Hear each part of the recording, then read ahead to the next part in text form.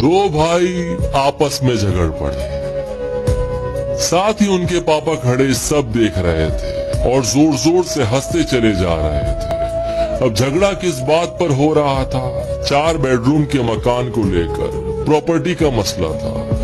बाप को हंसता देखकर दोनों भाइयों से रहा नहीं गया और बोले, पापा, आपको क्या हुआ? हम लड़ रहे हैं और आप हंस रहे हो। बाप ने कहा, बेटे, तुम इस चक्कर में पड़े हो। मैं कल तुम्हें अनमोल खजाना दिखाऊँगा। कल चलो छुट्टी लेकर मेरे साथ। दोनों भाइयों ने छुट्टी ली और सुबह सुबह तीनों निकल पड़े। एक बस में चढ़े तो दो ही सीट खाली थी। अब जाने वाले तीन थे। दस घंटे का रास्ता था।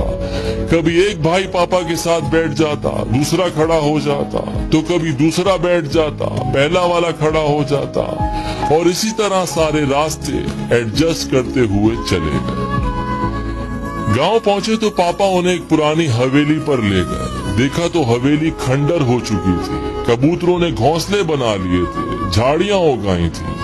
ये देखकर पापा इमोशनल हो गए। रोते चले जा रहे थे और उनसे कहते चले जा रहे थे कि देख रहे हो हवेली, इस हवेली में तुम्हारा बचपन बीता है। इस हवेली के लिए मैंने अपने बड़े भाई से लड़ाई लड़ी। एक दूसरे को मरने मारने पर उतर आए थे, जैसे कल तुम लड़ रहे थे। हवेली तो मुझे मिल गई थी, लेकिन भैया बाहर चले गए। मुझसे कहा, तू ये मकान रख, रिश्ता खत्म। मैंने अपने बड़े भाई को खो दिया इस हवेली के चक्कर में। और आज ये हवेली खंडर बन चुकी है। तुम दोनों इसी तरह लड़ते रहे तो मकान तो खंडर हो जाएगा, लेकिन रिश्ते हमेशा के लिए खत्म हो जाएँगे। जिस बस की सीट पर बैठकर आए हो, क्या वो ज़िंदगी भर के लिए तुम्हारी हो सकती है? तो बेटों ने कहा, नहीं, क्या बात कर रहे हैं? बस में तो सवारी बदलती रहती है। तो बाप ने कहा, बस यही लाइफ है। सवारी बदलती रहेगी। जो चीज़ थोड़ी सी देर के लिए मिली है, उसके लिए झगड़ना बंद करो। खुश रहिए, मोहब्बत से रहिए, अपनी फैमिली का ख्याल रखिए।